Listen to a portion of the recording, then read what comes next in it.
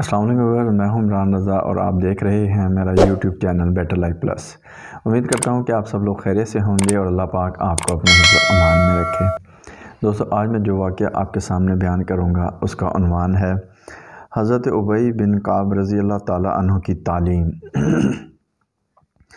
हज़रत उबई बिन काब रज़ी अल्लाह ताला मशहूर सहाबा और मशहूर कारियों में हैं। इस्लाम लाने से पहले लिखना पढ़ना जानते थे, अरब में लिखने का आम दस्तूर नहीं था। इस्लाम के बाद से उसका चर्चा हुआ, लेकिन ये पहले से वाकिफ़ थे। हजूर अकदस सल्लल्लाहु की खिदमत में हाजिर रहकर वही भी लिखा करते थे। कुरान शरीफ के बड़े माहिर थे और उन लोगों में थे, जिन्होंने हजूर पाक सल्लल्लाहु अलैहि वसल्लम की ज़िंदगी में ही तमाम कुरान शरीफ हिफ्ज़ कर लिया था। हजूर सल्लल्लाहु अलैहि वसल्लम का इरशाद है कि मेरी उम्मत के बड़े कारी अबई बिन काब रज़ी अल्लाह अन्हों हैं तो हजत में आठ रातों में कुरान पाक ख़त्म करने का अहतमाम था। एक मरतबा हजूर अकदस सल्लल्लाहु अलैहि वसल्लम ने इरशाद फरमाया कि अल्लाह जल शाह ने मुझे इरशाद फरमाया है कि तुम्हें कुरान शरीफ सुनाऊँ। अर्ज़ किया, या रसोल्ला अल्लाह ताला ने मेरा नाम लेकर कहा। हजूर सल्लल्लाहु अलैहि वसल्लम ने फरमाया हाँ तेरा नाम लेकर कहा। यह सुनकर फ़र्त खुशी से रोने लगे। ज़िक्र मेरा मुझसे बेहतर है कि इस महफ़िल में है। जुंदुब बिन अब्दुल्ला कहते हैं कि मैं मदीना तैयबा इल्म हासिल करने के लिए हाज़िर हुआ तो मस्जिद नबी में हदीस पढ़ाने वाले मुतद हजरात थे और शागिर्दों के हल्के मुतफरक तौर पर अलहदा हर उस्ताद के पास मौजूद थे।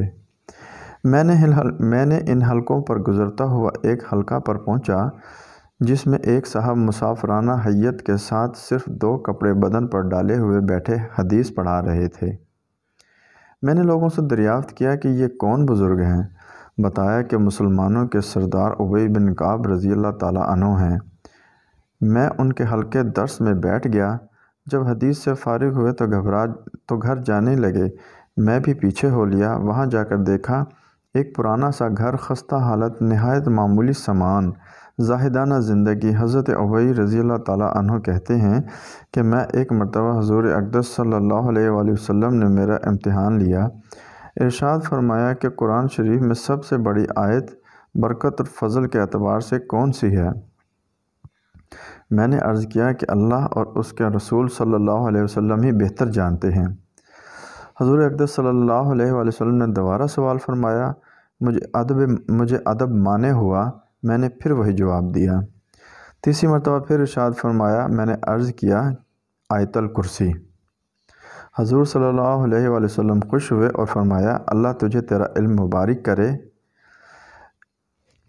एक मरतबा हजूर अकदस अलैहि वसल्लम नमाज़ पढ़ा रहे थे, एक आयत छूट गई। हज़रत अबी रज़ी अल्लाह ने नमाज़ में लुकमा दिया। आप सल्लल्लाहु अलैहि वसल्लम ने नमाज़ के बाद इरशाद फरमाया कि किसने बताया?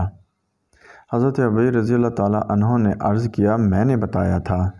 आप सल्लल्लाहु अलैहि वसल्लम ने शान फरमाया, मेरा भी यही गुमान था कि तुम ही बता सकते हो।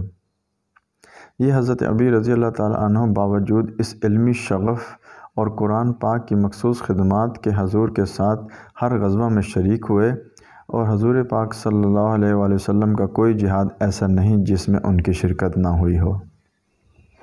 यकीनन दोस्तों, उस दौर में भी कुरान और हदीस की तालीम दी जाती थी। कुरान और हदीस का इल्म पढ़ाया जाता था।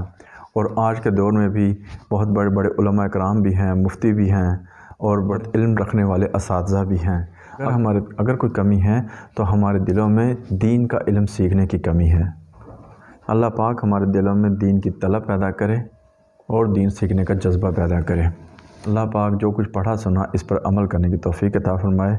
अगर आपको मेरे वाक़ मेरी ये वीडियो अच्छी लगी हो तो आपने मेरी इस वीडियो को लाइक ज़रूर करना है। इस तरह के अच्छे अच्छे वाक़ात और वीडियो आपकी खिदमत में लेकर आता रहूँगा।